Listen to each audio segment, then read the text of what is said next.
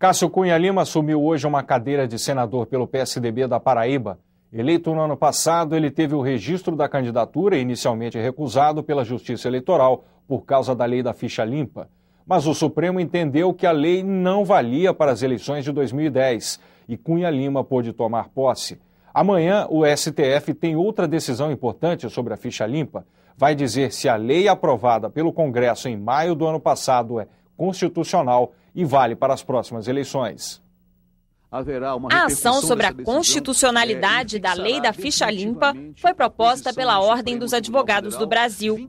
A OAB discutiu o assunto nesta terça-feira em audiência pública na Comissão de Direitos Humanos. A Ordem nunca teve medo de ingressar com esse tipo de ação.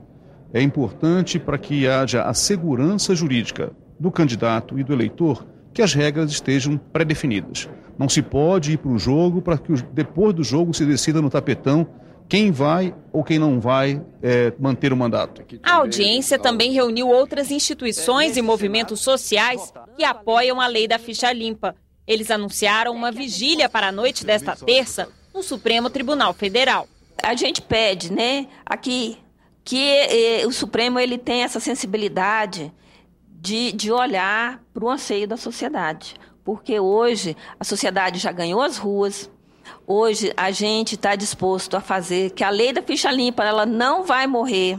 A lei da ficha limpa impede a candidatura de cidadãos condenados por crimes em um colegiado de juízes e também de políticos que renunciaram para evitar a cassação.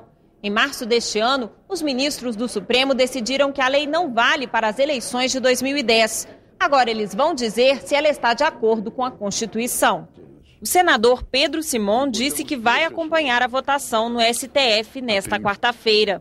Estamos vivendo amanhã o dia, na minha opinião, mais importante. E olha que eu tenho 80 anos, fui advogado a vida inteira, mais importante da vida do Supremo. O senador Cássio Cunha Lima, que tomou posse nesta terça, defende a ficha limpa, mas para ele a lei não deve valer para os crimes cometidos antes de maio de 2010, quando foi aprovada pelo Congresso.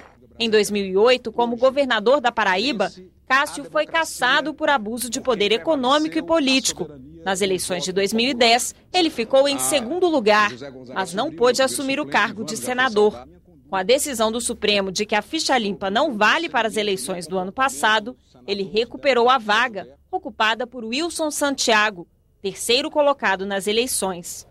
É muito arriscado você permitir em decorrência mesmo que seja de um clamor social, se forme uma certa maioria política para produzir leis que retroajam no tempo para atingir situações passadas, situações do pretérito. A Constituição não estabelece o princípio da irretroatividade, só em matéria penal. A eleição de 2012 será em 2012, então não há que se falar em aplicação a um fato passado, o fato é futuro. Ninguém vai ser preso de novo, ninguém vai perder os seus bens de novo, ninguém vai sofrer é, é, de novo uma indisponibilidade, alguma coisa assim. A única situação é que por determinado período pessoas naquelas condições não podem se candidatar.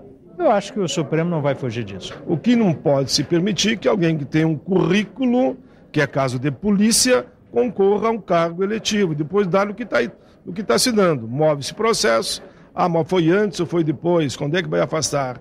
Acho que para moralizar, de uma vez por todas, tem que aplicar a lei da fecha limpa, aprovada por unanimidade aqui pelo Senado da República.